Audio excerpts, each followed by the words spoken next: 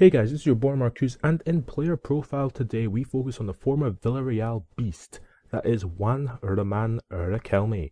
Now we all know he doesn't have his real face at this time of me doing this video, but when Konami start releasing face updates, hopefully he's one of the first because of how good he actually is.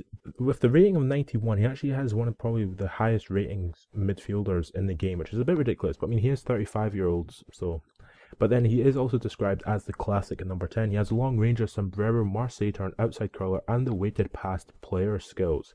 With stats of over 90 in the final ball, vision, long, long ball accuracy, free kick, and corner kick, he is a perfect passing midfielder, especially in the playmaker role.